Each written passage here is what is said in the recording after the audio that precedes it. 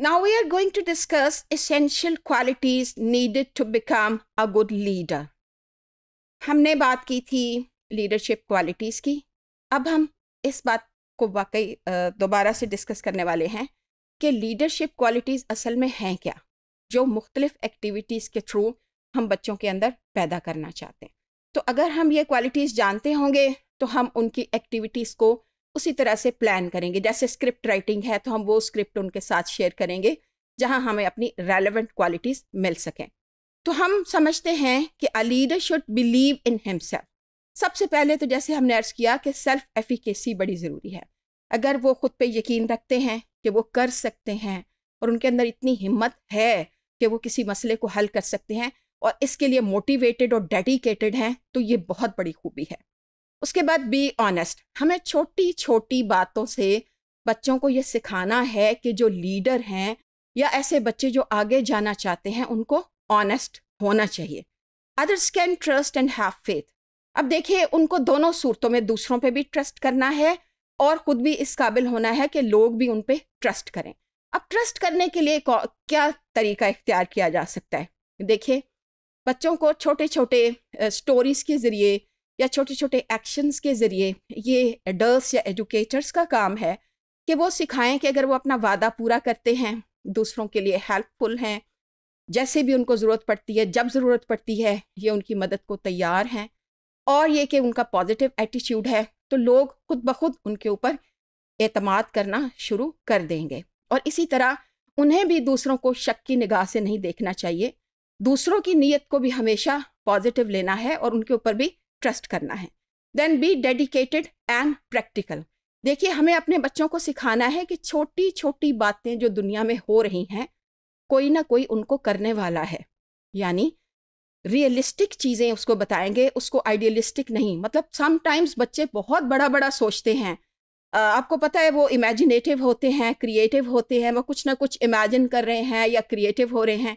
हमारा मकसद ये नहीं है कि हम उनके इमेजिनेशन या क्रिएटिविटी को कर्ब करें।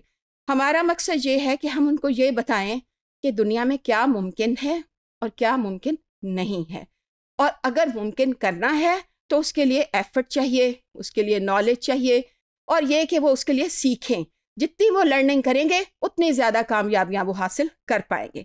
So not be influenced by his own emotions and prejudice ये भी हमें बच्चों को सिखाना है कि वो कोई तासुब नहीं रखेंगे और ये कि अपना जो उनके इमोशंस हैं उनके ऊपर वो काबू पाएँ। सबसे बड़ी लीडरशिप की क्वालिटी यही है, क्योंकि जब आप टीम लीडर बन रहे हैं तो आपको ना सिर्फ़ दूसरों के एहसास को समझना है, बल्कि अपने एहसास को भी काबू में रखना है। तभी तो आप दूसरों को लीड कर सकते हैं। So a good leader should possess listening skills देखिए, जब तक हमें अपने बच्चों में सुनने की आदत डालनी चाहिए, वो सुनेंगे तो सीखेंगे। सबसे पहला जो इंडिकेटर है लर्निंग का, वो लिसनिंग ही है।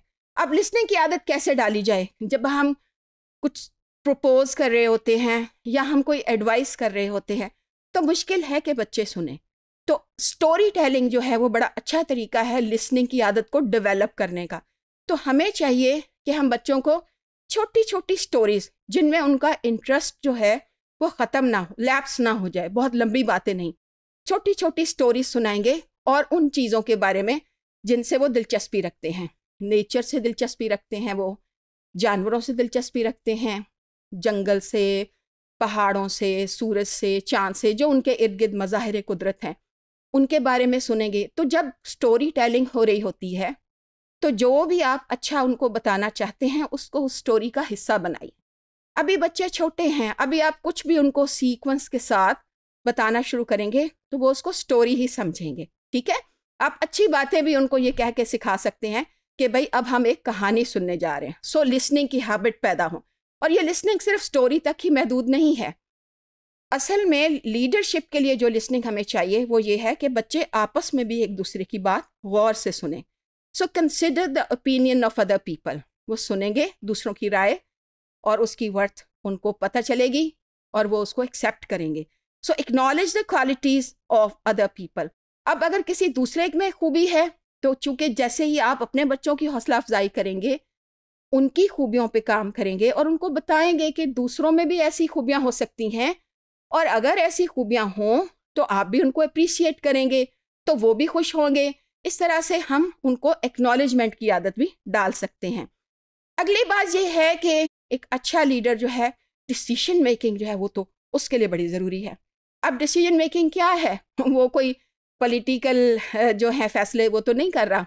लेकिन आप उसको मौका दे सकते हैं कि वो अपनी मर्ज़ी का लिबास पहन ले, अपनी मर्ज़ी के इंटरेस्ट की एक्टिविटी कर ले होमवर्क में जो सबसे पहले करना चाहता है, वो कर ले।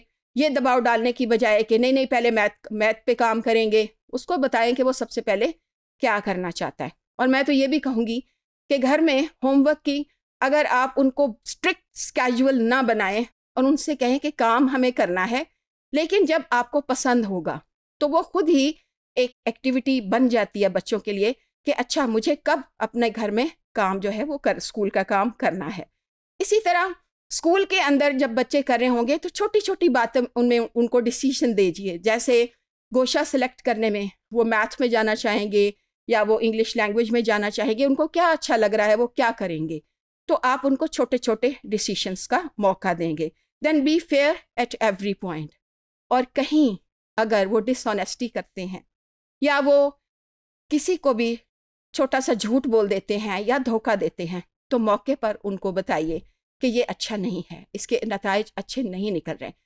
कॉन्सिक्वेंसिस के ऊपर बात की जाए बच्चे के साथ तो इन वो बहुत कुछ लीडरशिप की क्वालिटीज़ पैदा कर लेगा।